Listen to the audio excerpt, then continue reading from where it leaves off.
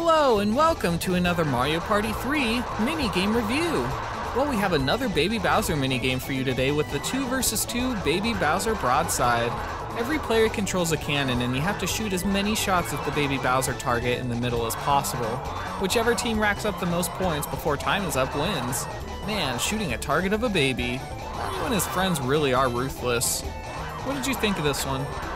This one was fun. I thought it was kind of strange that it was a 2 versus 2 minigame because I kind of felt like it should have been a free for all. The 2 versus 2 didn't hold it back, but it also didn't really add anything. That doesn't mean it wasn't fun though. Yeah, I mean, I had a lot of fun with it.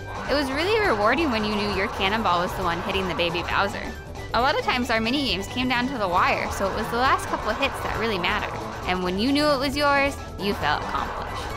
Yeah, it was always good to win it for your team. One thing I will say though is that sometimes it was hard to tell if you were actually hitting Baby Bowser or not.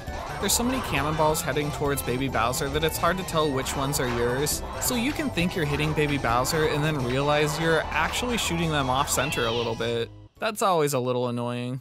Yeah, I think it led to having to adjust a lot.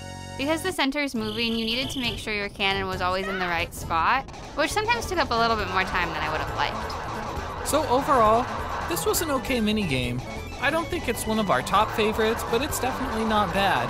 It's a good little carnival game where you just try and shoot as many cannonballs at Baby Bowser as you can.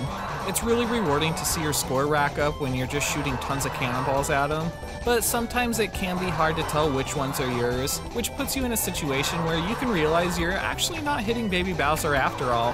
That doesn't totally ruin this minigame though, so we're still gonna give it 3 stars out of 5. Yeah, this one was a solid minigame.